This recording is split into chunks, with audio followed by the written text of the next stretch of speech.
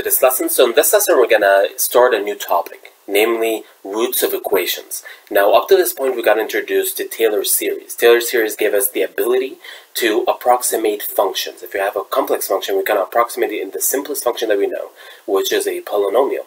Now, it also gave us the ability to approximate derivatives. For instance, we can approximate the first derivative using the forward, backward, or centered finite difference that we introduced in previous lessons. Now, another uh, mathematical problem that you might have is to find a root of an equation. Now, what is a root of an equation? Well, it's very, very simple. It's the x-intercept.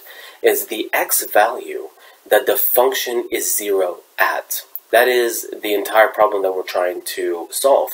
Now, you already got roots of equations before using the concept of factoring, and we're going to review that. But now given that maybe you have a function that's very difficult to find the x value where the function is equal to zero, how do we go about this in terms of numerical methods? Now, there are two main types of root finding techniques. We have bracketing methods and we have open methods.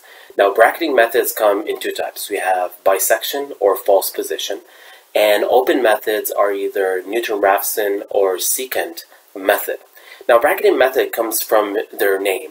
They bracket the root. They bracket the root using two guesses. So in this type of methods, we require two guesses to bracket the root and to converge on what the root of that equation is.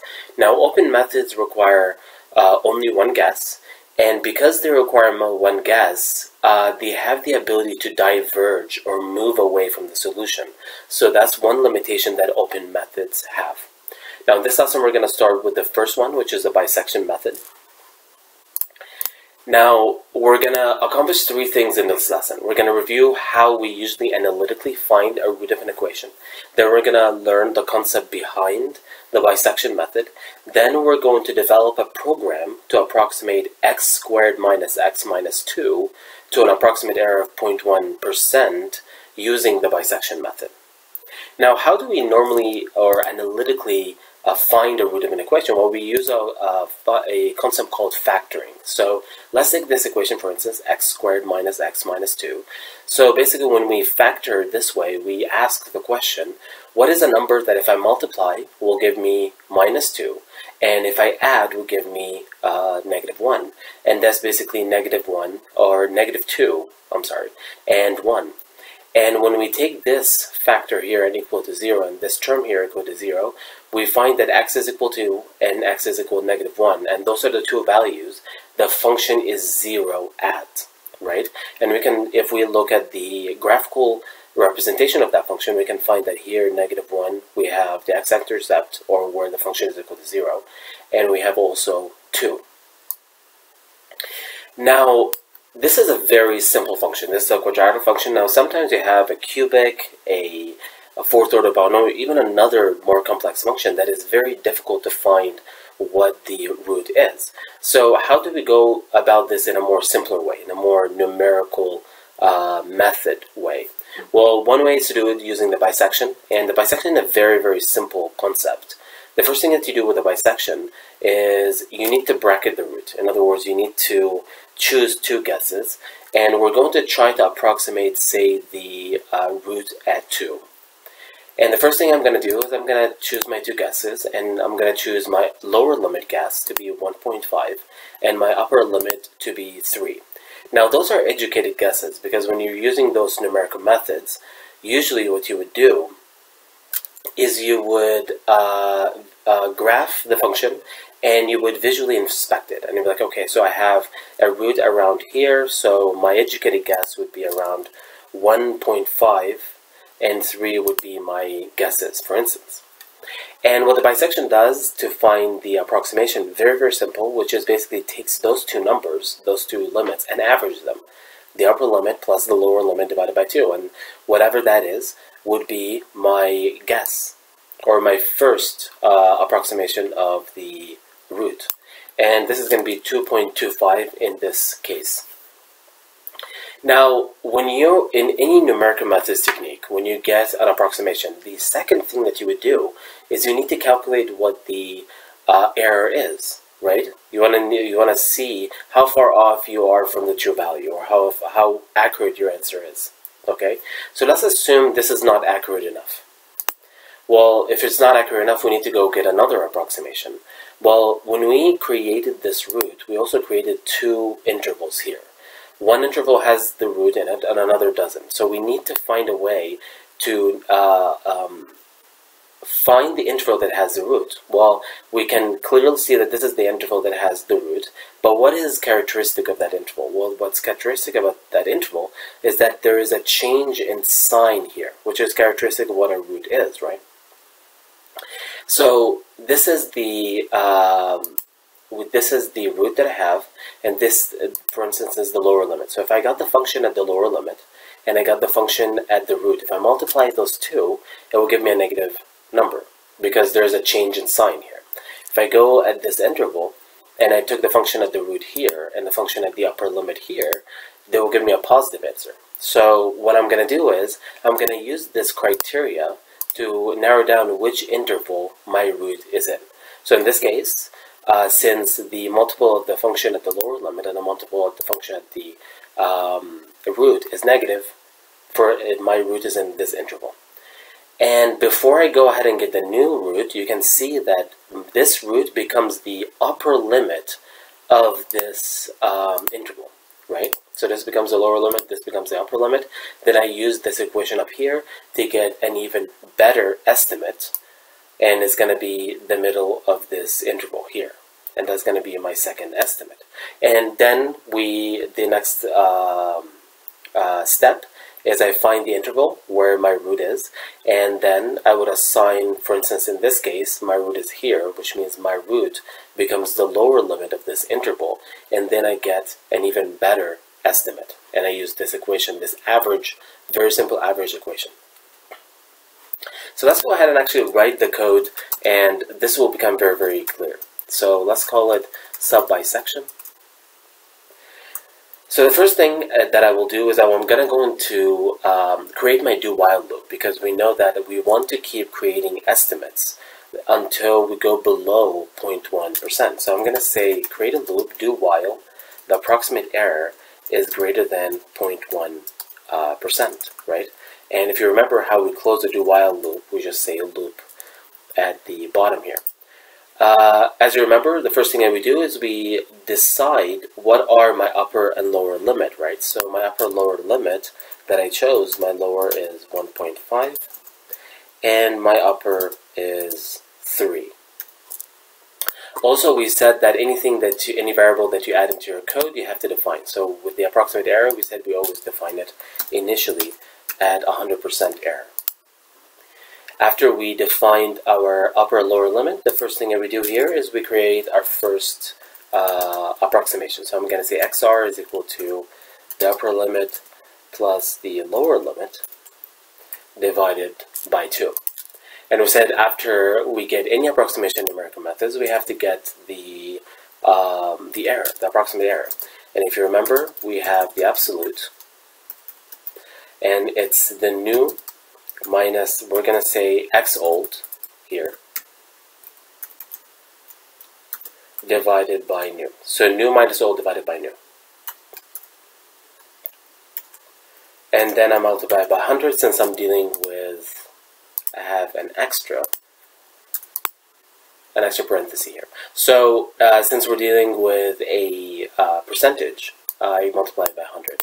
Also, since we already know what the true value is for our root, which is 2, how about we also get the true error? And we don't always have that available, but might as well let's uh, get it. So we have 2 minus xr divided by um, 2. And we also multiply this by 100. So now that we have uh, our root, and we calculated the approximate error, and we also calculated our true error, what is the next step? Well, we said the next step here, when I created this approximation, now I have two intervals. So I have to have a decision structure here that decides which one of these is actually um, the interval that has my root. So I can go ahead and go get a better estimate. So I'm going to say if, and we said f of um, the root, xr, uh, multiplied f of, say, the lower limit, if this is less than 0, then, so if, say for instance, if this is less than 0, and we found we multiplied this function value with this function value, that means this interval has um, our root in it. So what do I want to do? Well, I want to replace this xr to be my upper limit. So this is what I want to do. So I'm going to say store the xr into the upper limit if that's the case. Well, what if this is not less than 0? Well, if this is not less than 0, it means that the root is in the other interval. Well, if the root is in the other interval, I want my xr to be stored in the lower limit then. So I'm going to say else store the xr in the lower limit. And we end the if by saying just end if. Now, if you remember from the Taylor series, we said that for us to um, calculate the approximate error, I have to keep track of my old root, right? So this is where the x old comes from. Before I actually go back and create a newer XR, I have to store the older one somewhere so I can have the ability to actually calculate the approximate error in relation to the iteration before that. So I'm going to say my x old is equal to xr. So before I go to create a newer xr, I'm gonna um, store the xr that I have currently in xor, x old. Now this is, we're actually done with the code for the bisection. And I just want to do a few more things. First of all, here we did not define what the function is, and we can do here. Um, we can either define it here, we can actually put x squared minus x uh, minus 2 here, or for ease, we can just generally define the function up here, and we just can call it. And I'm just going to say f is equal to x power 2 minus x minus 2. So now, when I run the code, it's going to come here and it's going to uh, take xr put it in this function and get the corresponding function value, and uh, plug x lower and plug it in and get the corresponding um, f value. Another code that I want to uh, include is actually a code that would display all this information that I have here. I want a code that would uh, display for me the iterations, a code that would display for me the approximate, uh, approximate error, true error, and the corresponding root for every single iteration. Uh, this is just to see uh, how my numbers are changing as the iteration are going uh, by. So I'm going to use cells. So I'm going to say cells. And I'm going to say this starts at um, the 29th. So I'm going to say 28 plus i.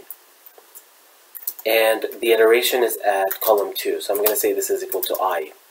And because I introduced the uh, letter i here, I have to initialize it up here as i equal to 1 for the first uh, iteration, but I also want a code here that would up the i by 1 for every single iteration. So this, this line of code, these two lines of code are going to keep track of my iterations.